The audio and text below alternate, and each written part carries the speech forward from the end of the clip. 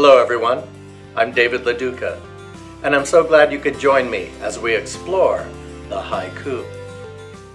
The haiku is a really cool form of poetry which originates from the Japanese.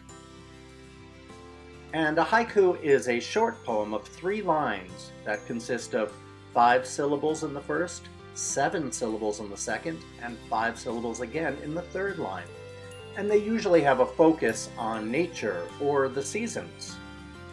There are a few things to remember when you're writing your haiku. The first thing to remember is that it's short and simple. There's only three lines. So it's really best to use sort of a telegram style, which means don't use extra words like and, but, and or. Also, it's really more about what you see and the imagery than actually telling a story. You should avoid metaphors and similes, there's really not enough space for all that. And the best part is it doesn't have to rhyme. There's sort of a magic formula to remember, 575, and this has to do with the amount of syllables in each of the three lines. A word like syllable has three sounds, si, la, bull. Here's an example of a haiku that'll help you remember the formula. I am the first with five. Count those out. One, two, three, four, five in the first line. The second line will have seven syllables. And the third, five again to the end. Got it? Let's look at a social distancing haiku to get our numbers right. Can we walk outside? That has five. Yes, we can, but not too close. That has seven and please maintain distance. That has five again, so that's a perfect one. Today I'd like to do a special haiku that I like to call a flyku. And all that means is that we're going to write a haiku about a flying creature or something in the sky, or from that creature or thing's point of view. I'll show you what I mean.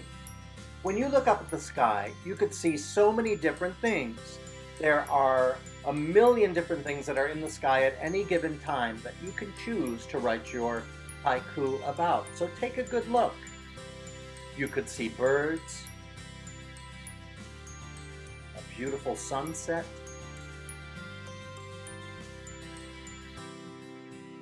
an airplane, and even things a little closer to you.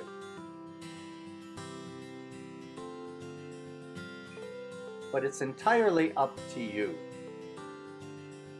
One thing to remember is to write from the point of view, or POV, of that object. What would a bird see? What would a plane feel? What would a bee taste? I got the idea to write a fly coup while I was flying in an airplane. This is how my first one went.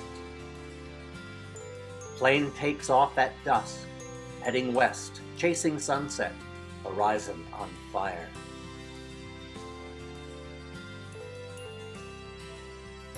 You can also imagine that thing is a person. We call that personification. And we're writing from that point of view is a lot of fun too. Here's one I wrote. Trees shed autumn clothes, naked branches against sky, need their winter coats.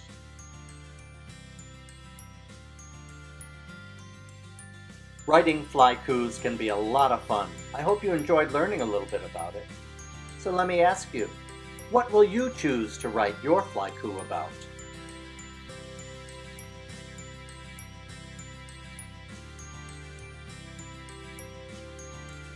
The sky's the limit.